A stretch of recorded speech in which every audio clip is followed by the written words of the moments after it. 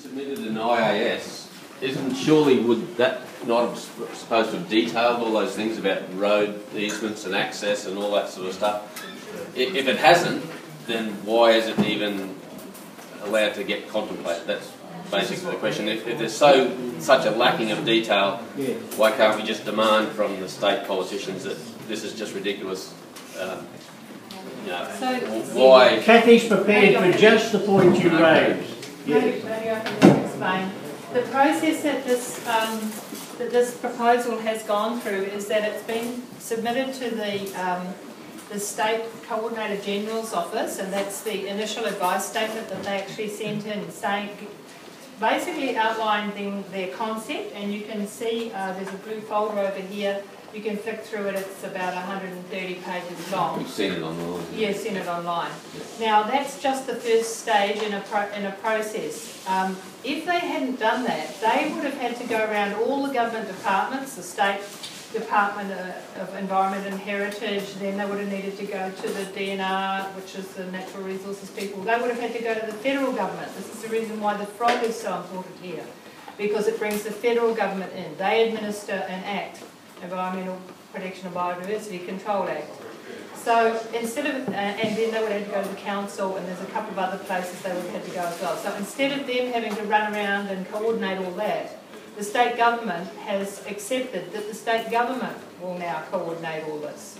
So it's a real advantage to them to have had this approved through the state coordinator. But it doesn't actually meet their requirements because But it's just the first stage. What they have to do now is they need to write an environmental impact statement. They need to describe how they're going to manage all of the effects of, how they're going to supply the water, what they're going to do with the sewage, how they're going to deal with the roads. They're going to have to put all of that into the um, environmental impact statement. They're going to have to deal with the social impacts in our town.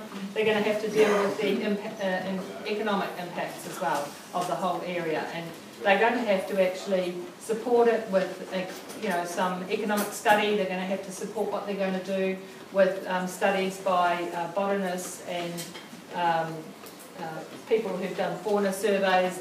They're going to have to do and spend a lot of money. They're probably going to have to spend a couple of million doing it. State government gets to uh, write a recommendation report. First of all, we are able to submit on the terms of reference for the uh, IA, uh, sorry, EIS, Environmental Impact Statement. Uh, that's going to come out probably very shortly, maybe even next week. Uh, we'll have 20 days to submit on that. That'll go back to the state government, so I definitely would advise everybody to keep up to speed and we'll certainly be emailing out information about how to respond to those draft terms of reference. The state government will then look at them, um, form what they believe the terms of reference should be. They'll send it to the federal government. They will look at it and make sure that it's covering all the things that they're concerned about. So in particular, it will be cassowary, frog, and all the other endangered species that there are, quolls, etc., on that block. Uh, and then it will be um, signed off by the federal government and then again by the state government and sent out to the proponents to actually to um, basically um, do their report. And that will probably take them upwards of a year. Now, it's every chance that they'll just put in a very shoddy EIS, and I don't know that I'm actually speaking out of turn. It does seem that this is the way that things are done, that they don't put in a complete one. We get to submit on that and say this is missing, that's missing, and then they will be told to go and do it again, or at least expand on what they've done. And we may or may not get a chance to submit on that second round. that's yeah, that's ridiculous. But